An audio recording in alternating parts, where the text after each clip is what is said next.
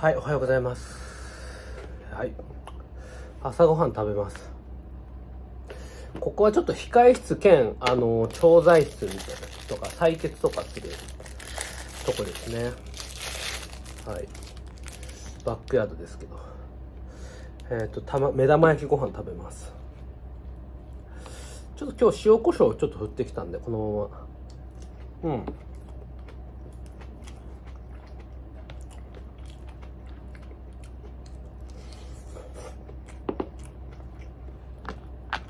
十分味がして。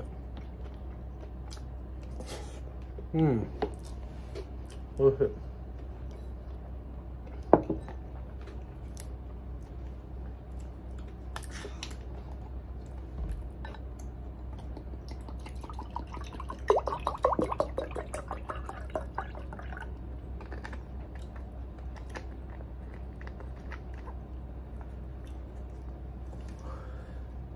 いやお茶を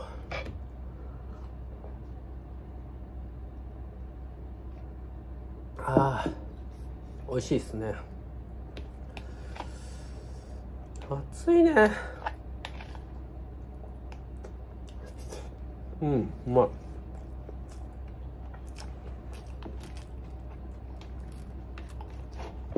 味ポンでいきますポン今日は。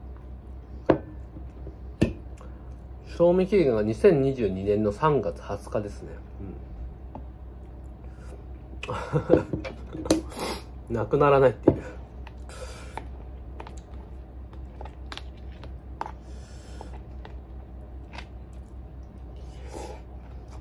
うん。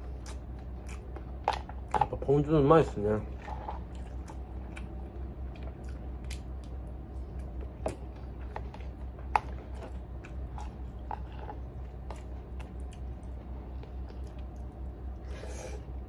うん。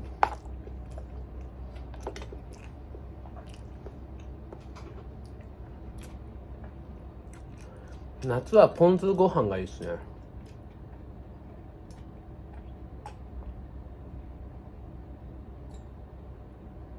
ああ。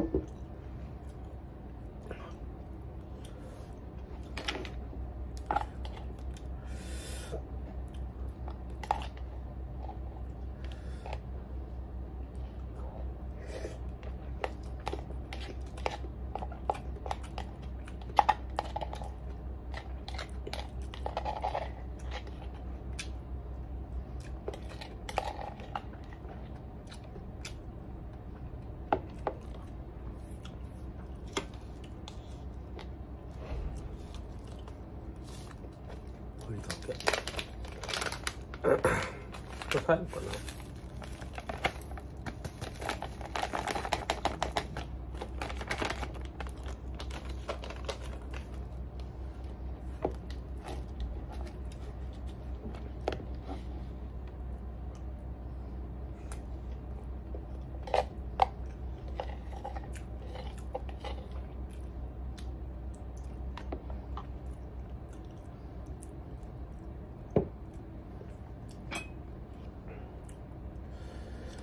うんなんかあの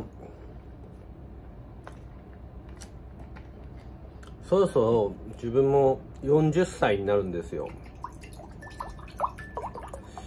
で40になったらそのまあね、まあ、40になったら特別何か変わるってわけじゃないんですけどやっぱりその銀行からお金を借りにくくなることとかもあると思う思っていて30代とやっぱ40代ちょっと印象違うんで。なんか何か挑戦するんだったらまあラストチャンスではないんですけど。まあでもまあねその10年20年考えるんだったら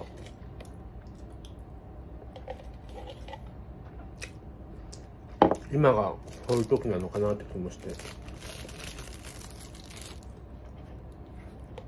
うん。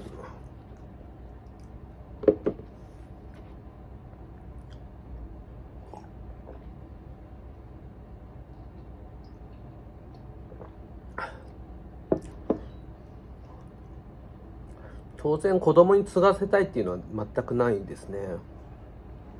やっぱり精神科医やれって子供には言えないよね。うん。だからやっぱりあのいろんな人見てますけど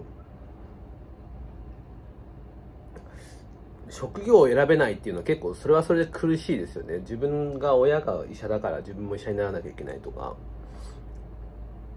親が整形外科だからとか精神科だからその科のドクターにならなきゃいけないって。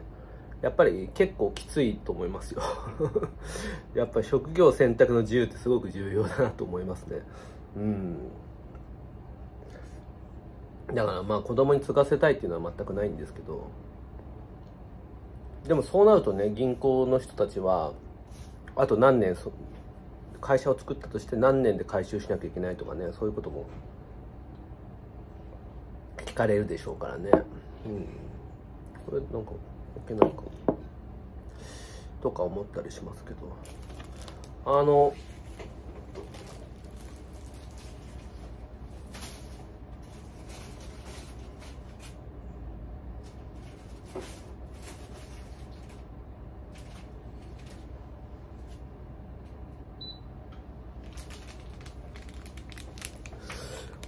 このスペシャルティのですね、コーヒーのドリップを Amazon で見つけて買ったんですけど、これ高いんですよ。1個100円以上する、100円ちょっとぐらいすると思いますけど、でもこれが美味しくて、コンビニのコーヒー買うのやめましたね。はい。これです。うん。いいですね。これが Amazon で売ってるんですけど、美味しいんですよね。やっぱスペシャルティーの豆？だだと全然コクが違うんですよね。これが今の楽しみですね。よいしょ。もしかしたらコーヒー沼にはまるかもしれないですね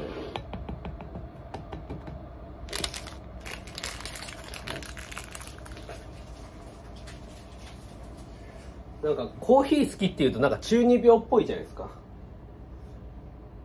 でももう中二病中二じゃないっていうね。普通におじさん おじさんらしい趣味というか。でこれも買ったんですよ。これも高いです。1万円ぐらいする。でどうしてこれ買ったかっていうとですねあのこの注ぎ口なんですけどこういう感じじゃないとこぼれるんですよ。で前までですねこの普通のドンキとかで売ってるやつ使ったんですけどこれだとこぼれちゃって勢いがつきすぎちゃってうまく豆を蒸らせないんで、まあ、買ったって感じですね。うん。暑いね。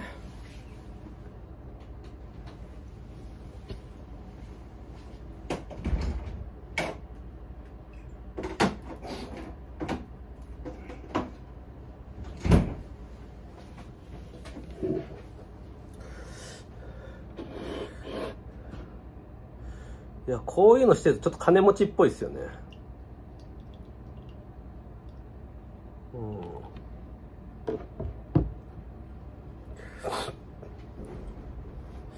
だからもうちょっと行くと多分コーヒー豆をすって、まああの、紙のフィルターでやったら方がいいのかもしれないですけどね。ちょっとめんどくさすぎてそこまでは。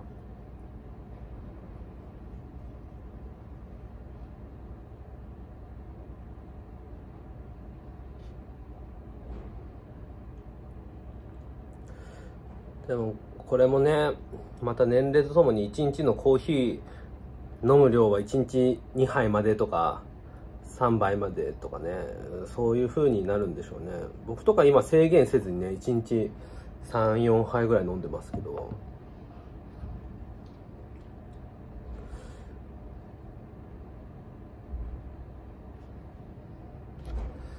やれやれって感じですね。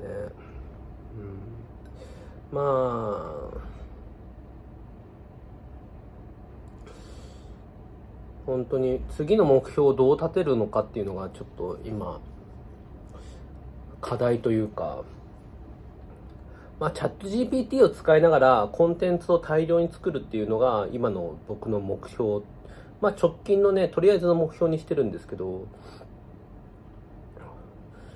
何を目指すのかっていう計画を立てないといけないなと思ってて、で、コロナが始まる前ぐらいにですね、まあ、コロナ、40歳まで、で、コロナが終わるまでには、とりあえず現状維持で、とりあえず今やってることを頑張ろうと思ったんですよね。うん。で、その後のことは、その時考えようと思ってたんですよね。で、僕が当初考えたのは、やっぱり自衛隊で入ったって自衛官としてやっていこうと思ってたんですよね。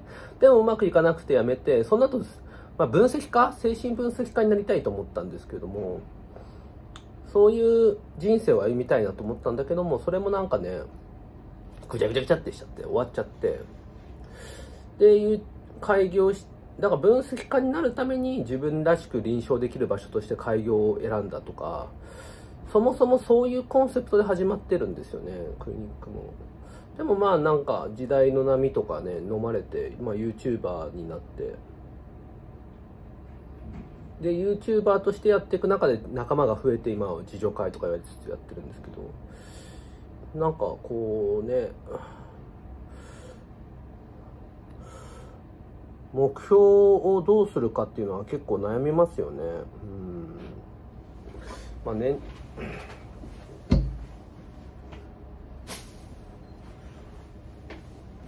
じゃあいただきます。うん。美味し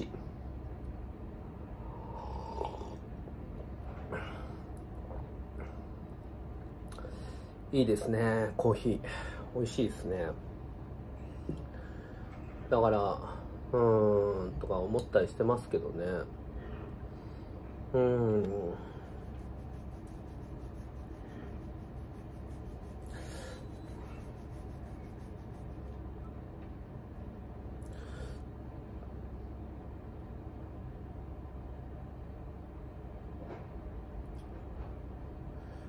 だから自分の体でやるとか自分一人の力だと限界があるんでチームビルディングをしていくのが重要だと思ってるんですよね。ただその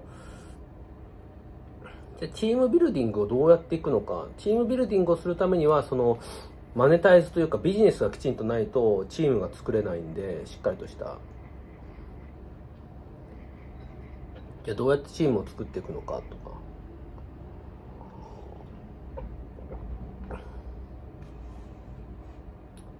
難しいなと思いますけどね。うん。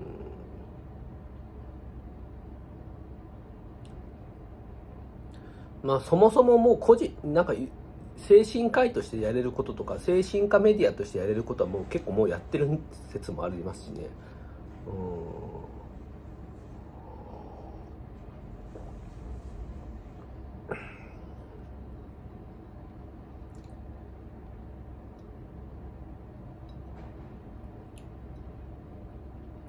コンテンツメディアみたいなことやっていくのか、コミュニティメディア、コミュニティビジネスをやるのか。でもコミュニティビジネスってやっぱりこう黒字化してきてないところがいっぱいあるんで、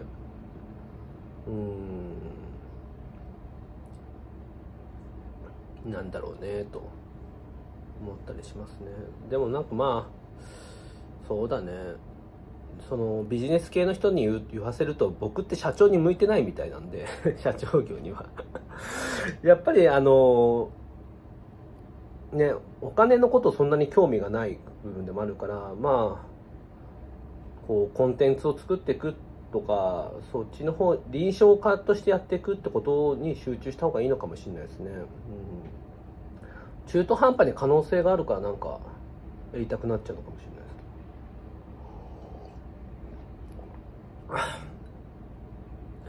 でもまあ、精神科医で、まあ YouTuber で、で、チャット GPT をガンガン使うっていうのは、まあ唯一無二っちゃ唯一無二な存在だと思うんですよね。そういう時点で。まあ、だからそこを極めていくのでもいいのかなっていう気もしますしね。うん。わかりませんけど。だから分からないのはなぜかって言ったらいろんな人と出会ってないからだと思うんですよね、うん、だからいろんな精神科医とかいろんなビジネスマンとかと知り合ってそうすると相手が得意なこととこっちが得意なこと相手の欠点と自分の欠点が見え見えやすくなると思うんですよね。そうするとああこの分野はこいつに任せておこう。じゃあ自分はこっちの分野を頑張ろうっていうふうに発想がねあのー、えー、生きやすいと思うんでうんなんかそういうことを考えた方がいいのかもしれないですね。今年は精神神経学会を横浜だったんで、もう自分の発表する木曜日だけ出て、残りは出なかったんですよ。後でオンラインで見ればいいやと思ってたんで。まあ来年は札幌なんで、あの、クリニックをね、3日4日閉じて全部行ってもいいかなとは思っていますけどね。うん。